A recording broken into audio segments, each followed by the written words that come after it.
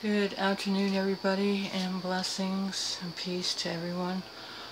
Okay, you guys, um, I was gonna wait to do a video this evening, but I saw that um, Angela had put urgent request for prayer in the emails uh, that she sent me.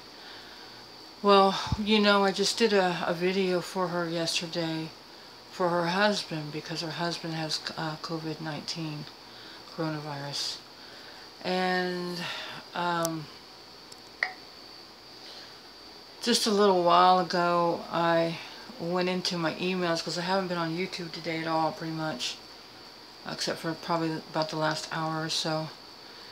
And I went into my email and I had seen that well Angela had put uh, a mail to me and has said that her 23 year old son has died. Um, I believe she said it was yesterday. I'm so sorry, sweetheart. You know, um,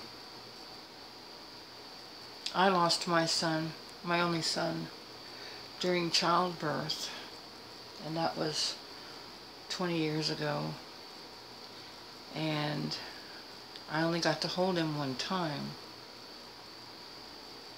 So I can't even imagine being around somebody all their lives and you taking care of them and loving them nurturing them doing everything you can to bring them up in the way they, that you would have them go in the Lord.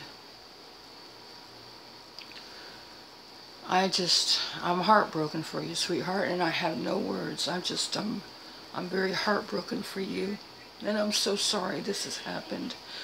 Um, I would like to ask for everybody to please pray for Angela, for the peace that passes all understanding and for the grace and the mercy of our Lord God to come upon her, to give her strength to get through this very, very, very unbelievable, difficult time. She has had so much laid upon her in just a few days' time. Um, so please, please leave your prayers of love and hope and uh, sweetheart from what I know of you. Um, I'm sure that he believed in the Lord God, and I'm sure that he's with the Father right now. Okay?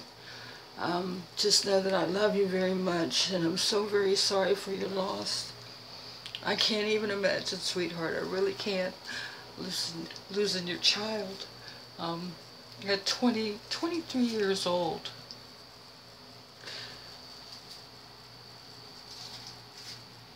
The pain and the hurt you must be going through. I'm sorry, sweetheart. I'm so sorry. I wish I was there to comfort you. But just know that we all love you very much and God loves you and he's gonna he's gonna pull you through this, okay? We're getting ready to go home soon, Angela. We really, really are. I know that with all of my being.